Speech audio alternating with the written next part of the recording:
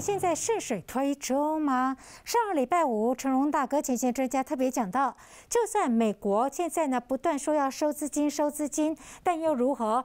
当还没有收。的那一刻，资金依旧宽松。您看，美债十年期公债殖利率哦，现在又往下掉喽，今天又掉下来了，现在跌零点六八，呃，来到的位置是一点四八左右。当时最高的时候还来到一点六、一点七哦，现在全部都往下掉。显见资金依旧宽松。我插播一下，纳斯达克跟标普最近呢，尤其标普更夸张。标普几乎哦，连续好多天，看一下标普平创历史新高，所以呢，纳斯达克标普平创史高，台股是不是就顺水推舟往上攻呢？哦，我讲这个是来自于这个讯号啊，也许你会觉得好恐怖哦，今天大涨怎么会？七月份的逆价差高达九十九点。不知道了，再问一下微良。因为呢，今天礼拜二，明天礼拜三，月期月选就要进行结算喽。六月份要进行结算，我当然先帮您看七月份。而七月份逆价差这么大，会不会是因为台积电二三三零礼拜四要进行除息的关系呢？因为除息会蒸发点数喽。所以我们假设，也许来这个地方就看得出来了。上个礼拜哦，外资还很多的券，你知道还掉？不借了，还掉，还什么呢？还台积电二三三零，还了。一百二十一亿元哦，所以他不想要参与台积电的除息，因为我如果拿了台积电的息，我还要权益补偿给借券人，因为呢出借人，然后我是借券人外资，所以呢这又代表什么的意涵？会不会只要呢借券金额不多，借券卖出的金额还在下降，就有利于多方呢？因为关谷行库现在呈现卖超，而它的卖是不是等同于外资的买盘？有办法继续买？买上去呢？因为往往外资在买，它就不会会护了。您看，因此微良直接问喽：刚刚的借券，台积电和逆价差很大，是不是都有关联性？而外资的现货百亿百亿，本周会持续吗？那基本上总结这个行情哦，应该就不会是属于了大盘一路往上冲。那首先呢，在外资期货的部分来看哦，其实这一波涨上来，外资现货虽然买，但是期货有点没有跟上来。尤其就是说，当我们每次观察到这个逆价差哦，如果持续都维持在这种八十点以上，甚至往一百点以上来做扩大的情形话，那其实行情呢，有可能在短线上面它的震荡幅度就会加大，甚至呢，不排除会做一点修正。嗯哼哼。那另外来讲话呢，同时刚刚也看到，呃，在借券券的部分哦，那其实呃六月十一号，上上个礼拜这个单日还券金额有高达两百四十四亿哦，不过这其中有一半就是来自于台积电哦，大概就占了二分之一左右。这个是大概每一季台积电它在除夕之前的一个概况了，所以其实这个部分我们倒是比较平常心看待。但是后续当然呃周四除夕之后，那外资在整个借券市场的这个金额，不管是呃蓝色这个棒子，或者说呢这个咖啡色的借券卖出的这个金额，如果说是有续的。飙高的话，那可能也会加大大盘呢短线上面回档的压力。那另外就是在八大关股部分呢，同样也是跟外资因为出现对坐，所以我想这个也会影响到大盘接下来短线续攻的力道。所以你的言下之意是讯号多空不明，外资的现货买超本周等不到，每天都是买百亿吗？呃，我觉得现货有可能，但反而是说现在外资哈，它基本上不太会期现货呢。全面性的偏多或偏空一面倒，呃，也就是说呢，现货它有可能也也许持续买超半导体的台积电、联电，那让这个金额有机会持续有百亿以上。嗯，可是，在期货部分，你会发现到它已经预先做好了避险的动作了。这个空单的部分今天就明显拉高，那也许有可能在本周的下半周，这个空单都还会再增加。所以呢，我们就盯着看了哈。刚刚魏良有说，先看一下还券，因为呢，外资不想要权益补偿，领了台积电的。席，然后呢，再把席还给这个补偿给出借人了。因此呢，如果礼拜四台积电除完息之后，这个借券的金额不要做标高，借券卖出也不要拉升的话，对大盘反而是个肯定的加分。第二个，刚刚讲到了逆价差，逆价差的这个部分呢，千万不要拉得太大。如果拉得太大，期货在低哦，现货是在高哦，它就会卖现货，然后期货的不多单。可是。呢期货如果它依旧是空单，不是靠近三点一万口吗？没有多单的话，那行情就是不对劲。所以呢，外资的现货买超百亿是等得到，可是要它期现货同步做多，恐怕这个礼拜是等不到的。那么集中市场外资投信的动作呢？那先看外资哦，在集中市场呢，其实买超的主轴就是放在涨价啊。那基本上呢，像电子这边包含像呃半导体里面联电。华邦电、台积电哦，这个都是涨价股。那其实传产股部分来讲的话，航运的阳明、长隆哦，那另外呢，钢铁股的中钢、大成钢，所以这些通通都是呢所谓涨价相关的股票。那总结，其实外资在集中市场买超的前二十名当中呢，其实今天电子股占七档，那传产股的部分有十一档，所以这个比较符合我们一开始所讲的哦，类股轮动。那外资它其实还是算比较均衡的布局。至于说呢，在这个投信的部分哦，集中市场。二十名的买超当中呢，啊，其实电子股就占了高达十六档了，哇！所以比较明显的，其实投信的方向就是还是比较侧重在电子股。那其中买超第一名也是联电，跟刚刚外资一样。那我建议就是说呢，在这个买超的榜单上面，其实投信可以先观察就是前四名就可以。嗯，为什么呢？因为到第五名以后，它的买超整体的一个张数都不多。哦，通通都小于五百张了，所以其实你可以观察到，像联电、经济、世纪钢、国巨，哦，这个时候买超在千张以上，尤其是像联电跟经济这两档个股，又是刚刚跟外资是重复的，嗯哦，所以大概呢，呃，法人的一个看法上面可能比较有交集，就是在这两档个股。那至于说在贵买的部分，哦，它很明显，因为中小型股为主，那这一波呢？外资投信都是在买电子，哦，那包含像呃这个元泰啦、世界啊、汉磊哦，那这些大概都是目前盘面当中在整个现行上面都比较强势的一些算标股了，好，那另外可以看到投信的部分来讲话哦，也是呢，像我们今天聊到几个焦点产业，像铜箔、金居呢，这里也是买超跟外资一样，那另外像这个呃细晶圆部分就是汉磊合金。晶圆代工的部分就是世界先进，所以大概在这讲个股哈，其实代表就是说，呃，只要有法人持续的加码当中，它的一个技术线型应该都还是会持续呢偏向多方的发展。今天的法人的举措还蛮好抓的耶，我发现哦，从呃外资投信的贵买布局，再回到了投信跟外资的集中，原来清一色一买。电子涨价概念股，然后外资呢，对于部分的船产还有火在烧，钢铁啦、航运啦，多多少少还是保持着一些了。但提醒你哦，回到了集中的投信前几名，刚威良不讲吗？联电、经济、世纪钢，还有包括了国巨电子，是不是慢慢的把资金给吸回来？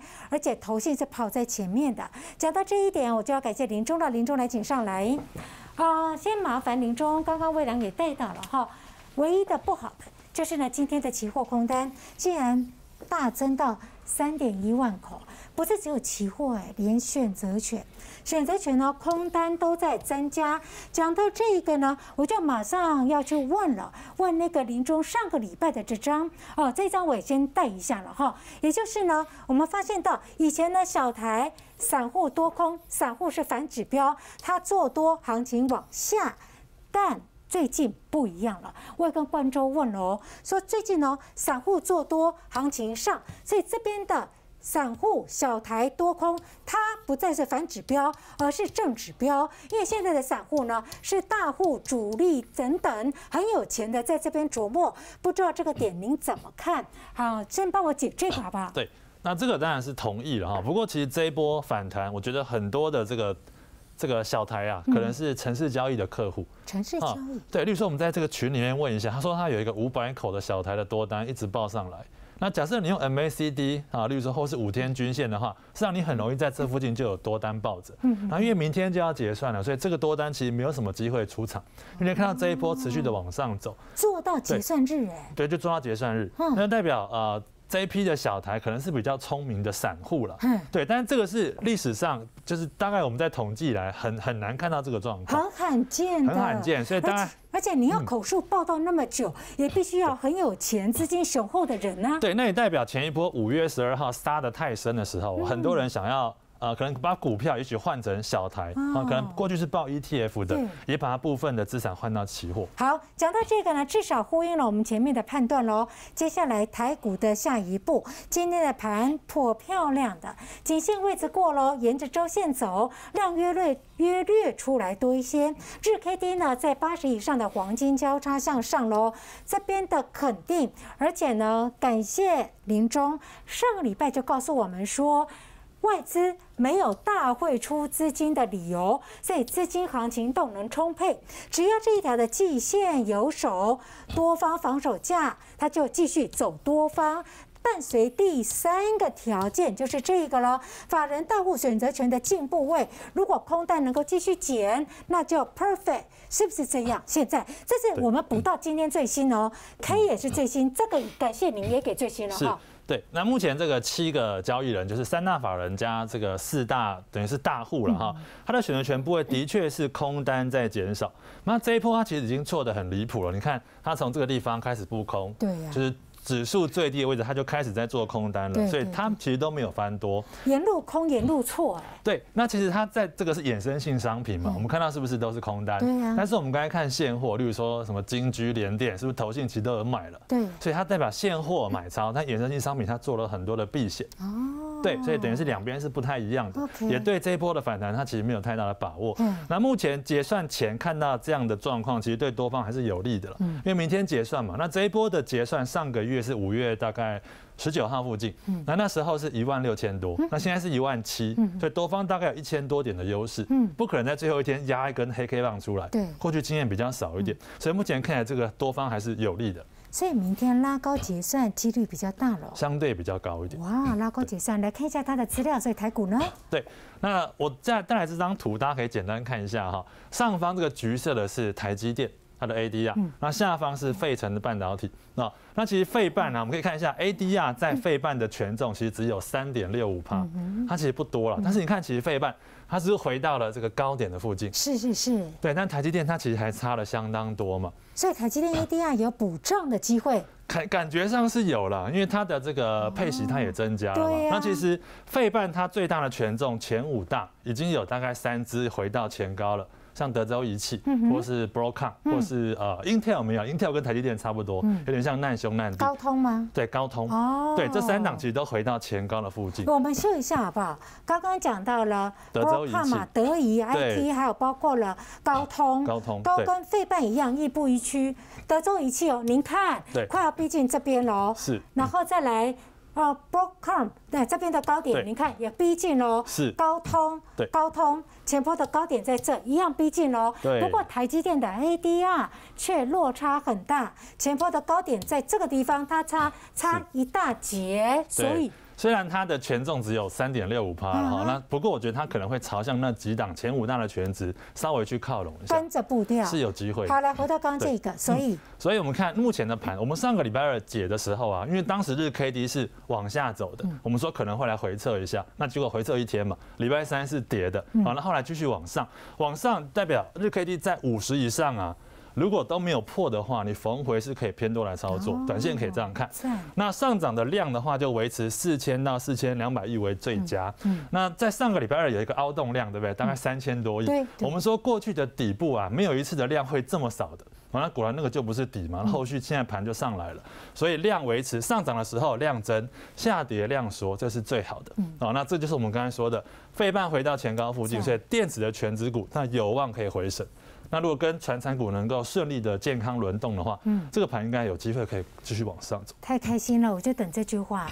所以电子股当主角的话，请问呢？您觉得它的资金比重应该要多少？当然就是五十趴，对，基本的门槛五十趴以上。对，要不要五成五到五成到六成啊？当然，你越高会越好。那可能可以看到像过去几年的龙井，不过最近比较少一点，因为那三条船实在太强。OK OK，三条船哪三条？就是长隆、阳明跟万海那三条船，全值太大。哇，因为他也有小朋友都在看《航海王》啦，我懂意思了。好，至少大盘，您觉得是本周有机会他带队？然后电子转强，是过前高，所以台股的多方力道在加温。对，它在加温好，大盘知道了，接下来进入到临终的教学，我再次呢这个林中啊，我们一块谢谢观众朋友，谢谢。因为呢，林中的教学共振哦，教了十集，我已经把它汇整好，就在脸书，然后已经八百一千多个，快要将近一千人分享了哈。共振的大主题我们教完喽，今天要教如果。短线的 K D 指标，中长线的 M A C D 指标，如果不共振的话，您到底该怎么办呢？来看一下喽。像短的，如果 K D 死亡交叉，短的出现很不理想的叉叉，但中长线呢出现 M A C D 还是正值的加分，那么请问你该怎么看呢？就刚刚林中说的那一条船，长荣，你看长荣哦。现在这边出现了死亡交叉，死亡交叉，叉叉。不过 MACD 还是圈圈正直的，这长线，这短线，所以喽，拉回来你买它，您看看您大赚。所以如果是这样的话，是不是就站在买方呢？待会林中会教第二种情境，刚好相反，KD 黄金交叉在二十或五十黄金交叉，但 MACD 短线是好的。但是呢，长线 MACD 却是坏的哦。叉叉，举例来说，像包括了红海，你看这边黄金交叉，这个是好的短线，但长线 MACD 却是 MACD 却是差的不好哦。所以你看，一弹高，你把它如果弹高卖掉。接下来好像卖对了耶，因为涨不动啊，所以会不会这种短线好、长线不好的话，你应该是要卖，不是买呢？清掉哦，回到刚刚那个，你怎么看不共振的现象？对，那其实不共振啊，比共振的几率要更高一点啊，因为其实人生不如不如意之事十之八九嘛。啊，你看 K D 跟 M S E 如果他们两个不合的话，其实就不共振。所以技 技术指标跟悟出人生大道。当然，全部的万物都是通的。对，这就继续是。对，那。我们刚才你你已经讲过对不对？K D 是不是短的？MACD 是长的。是啊是啊。K D 为什么叫做短的？因为它很容易黄金跟死亡翻来覆去翻来覆去。那 MACD 它不太容易做转折啊。我们从这个，例如说过去的数据，我们用这个指标的翻转来回测的这个交易数量，就知道这个的交易量很大，这个比较少一些，所以它是比较稳定的。那你就可以用它来当做。中长期的趋势，所以这个中长线没错嘛？这个中长线这是多的，没错。对，那它如果死亡交叉，哎，代表现在短线涨多，它可能正在回档。那我如果用这个图一句话来形容，因为这个是中长线，这个是短线，所以看好喽。如果这个不共振，代表中长线、长线保护短线，对或不对？没错。漂亮，那这个呢？那这个一样，这个是负的，对不对？代表中中长线是转空了，但可能跌得太深啊，跌得太深，短线出现反弹，所以呢，K D 才会在低档可能黄金交叉。那就是如果用一句话形容，它处在跌升之后的反弹，反弹之后可能是让您稍微解套的个股喽。这个有可能，不过还是要看后续，因为有时候它可能是一个波段起涨的买进点。哦，波段机上买进点是 OK OK 好，那我们回到它的解释了。如果呢不共振，你怎么去看两种模式呢？对，那两个模式，第一种模式 A 就是我们刚才图片的左边那边，我们把它定义为涨多，它正在休息。哦，对，所以那个时候你去马上买进，其实不太适合，因为它已经在休息了嘛。你买它的话，你可能资金要 parking 在那边很久嗯啊。那它的定义是这样子了哈，MACD 的柱状体它是大于零的，对，中线是多方。然后，那但是 K D 是死亡交叉，就是 K 穿 D 往下。嗯，那在哪一个位置往下都算是下了哈。你在八十五十二十其实都是往下。对呀。好，所以这个 OK 就是涨多休息型的。嗯。那什么时候买呢？你要去注意一下，如果能够在五十以上重新黄金交叉，你再进场。因为哈。左边的图跟右边的图都是不共振。嗯，我现在在乎的是您的股票，在这种不共振的大前提之下，您的进出点。所以呢，这一行我还没讲哦，因为回到现场之后，林中用白板教会比较清楚。好，谢谢您来，先请回座哈。今天呢是技术指标不共振的第一集，把它听仔细了。啊，与其呢现在行情，如果觉得您不太好做，学钓鱼技巧，学会了终身富贵。总之呢，进广告回到现场之后，让它进行第二题。新的教学不共振之下，什么前提的买卖点，您如何精准抓呢？